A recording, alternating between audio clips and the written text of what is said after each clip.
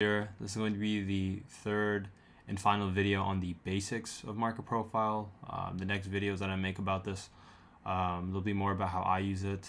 Um, but real quick though, if you enjoy these types of videos, please leave a like, subscribe, and share with others. Before I get into the different types of days and the openings, um, just a few things I'd like to say. If you want to use Apex Trader Funding, I highly suggest them. I have a coupon code down below that'll save you 80% off the first month and the recurring months. I also um, have a coupon code for $30 off of Jigsaw Trading. This is the DOM that I use. I personally believe that it's the best DOM out there. I've made multiple videos on them, so feel free to check them out. I also created a Substack um, where I post um, plans and reviews. Um, sometimes I'll share um, how I came up with my plans for the day, um, and then my reviews of things such as the footprint, market profile, um, and the DOM and stuff like that. So go ahead and check that out as well. And uh, you can subscribe, it's 100% free. And finally, if you're not following me on Twitter, make sure you're doing so. Link for all these things will be down below. Now that all that stuff is out of the way, let's go ahead and get into the video. So, oops.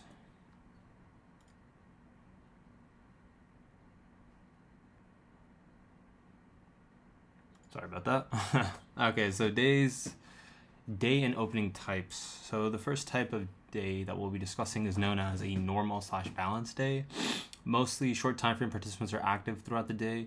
Wide initial balance, this tells us that larger time frame traders were only present in the first hour. Usually the initial balance high and initial balance low are good areas to trade off of. There's no clear direction and it's shaped like a D and the reason why it's called a normal slash balance day is because we tend to close in the middle. So this is a profile right over here. You can see how volume is distributed evenly across. It's a nice balanced profile. You have some excess at the top, some excess at the bottom, and we close right about in the middle of the range.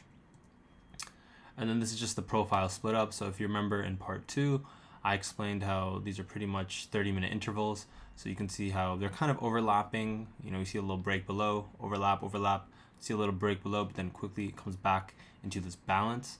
And then keeps on overlapping, overlapping, doesn't even penetrate this low, and then just, you know, goes back. Next up is are known as trend days. This is when large time frame participants are present the whole day, while short time frame participants are providing liquidity. Small initial balance that is broken and continues to go higher slash lower. Buyers slash sellers are trying to find new value for price. We tend to close on the extremes. So in this example over here, um, you can see that we opened uh, right about here. Market, you know, traded around, and we have all the we have these different single prints implying that the sellers took initiative, and we ended up closing on the low. And then when I split the profile up, you can see kind of have a tight initial balance. Um, B overlaps with A. C doesn't even um, penetrate uh, B, um, B's period, and then eventually D breaks out. And we just see something known as, if you remember, one time framing lower, that is when we break the previous low constantly. You see this low is breached, this low is breached, this low is breached, this low is breached, and then this low is breached. Next up is something known as double distributions. This is when there are two distri distributions that are separated by single prints. Large time frame participants are present. Kind of looks like a capital B. We tend to close at the highs or lows, implies buyers slash sellers are initiating prices higher slash lower.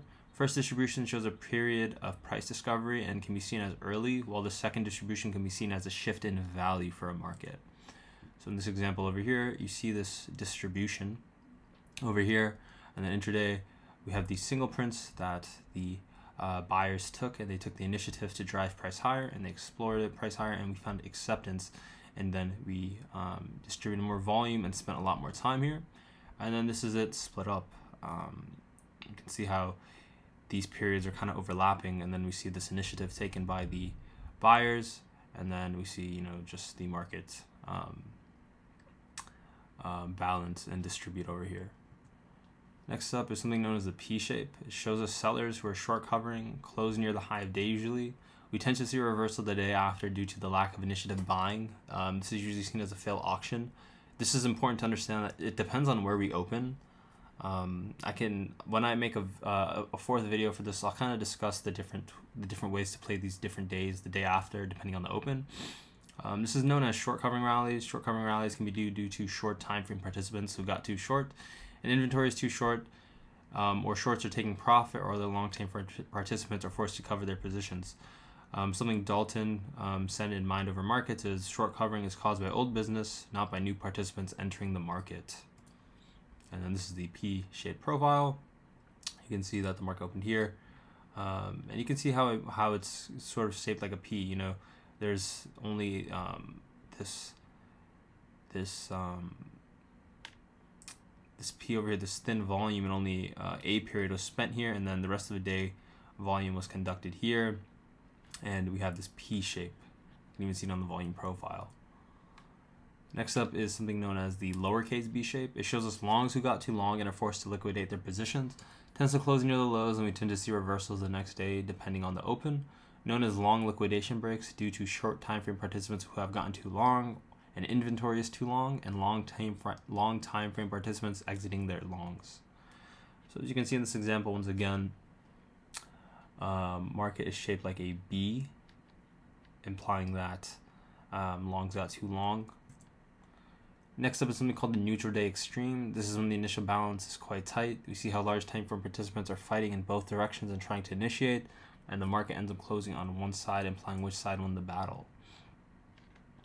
As you can see here, um, compared to the neutral day, neutral days tend to close in the middle, while this tends to close, you know, at the upper or lower ends.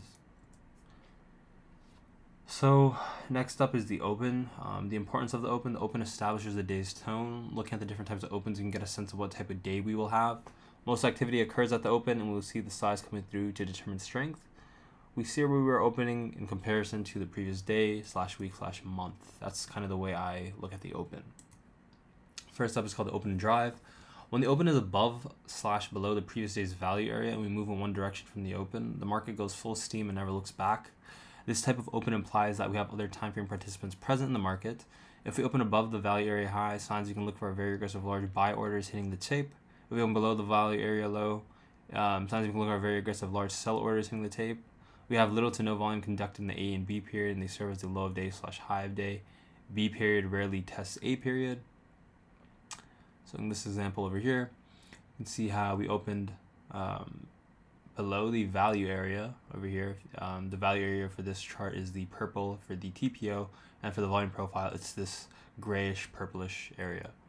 So we open below value area, um, and then we just you know straight up just kept drilling and drilling and drilling. Open test drive, very important to understand so much the open drive, but in this we test an important area before bouncing. Implying there is a successful auction occurring because new prices are being defended. So um, I defined some important areas such as single prints, previous low of days, previous high of days, value area high, value area low, or a or um, point of control. We have little to no volume conducting the A and B period, and they serve as the low of day. And once again, B does not really penetrate much of, much of A's range. So in this example over here, the market's gapped up. Um, this red right over here represents the open. We came, we tested the previous high of day, and then um, we found that there's no interest in sellers over here, and then the market just bounced. And I believe this was like a 90 point rally or something like that. Uh, next up is something known as the open rejection reversal. Price opens above slash below the previous day's range slash value area and tests an important reference point, fails to bounce and reverses. Once again, some important reference points include the previous high day, value area high, value area low, point of control and previous low of day. It implies a failed auction, implies buyers slash sellers unable to initiate a move higher slash lower. So in this example over here, I um, this is crude over here. You can see that we gap down, came in, tested the previous low of day, rejected it, and then we sold off. Um, if this was going to reverse, we would have found acceptance over the, um, we found some acceptance over here, but we failed to. And this is it just combined. Next one, something known as a balance open. The market opens up in the previous day's range, it has a high chance of remaining in balance and overlap in the range tends to occur on days where there's no important news planned or holidays. Markets tend to be waiting for some big news, and we only see small time frame time frame participants um, present. So this is an example. You can see the markets just open over here. You know, opens right here in the middle of the balance, opens right here in the middle of the range again, middle of the range slash balance, middle of the range slash balance, and then opens right here in the middle of the range slash balance once again. So um, it's all about, um, and this is just um, split. So these are all of the basics explained. Um, now it's all about just putting the pictures, the picture together, and all the all the context clues, and um, kind of using what the market's giving you to understand where the market wants to go. Um, the market profile is, like I said, in my opinion, one of the best tools to look at the structure. Um, I don't make trading decisions off of it. It will allow me to generate trading ideas, but it won't um, be um, something for me to confirm or uh, be a reason for me to get in. Um, that's something that I use the DOM slash footprint for. Um, but I hope this series was helpful for you guys, and I'll see you guys around. Take care, everyone.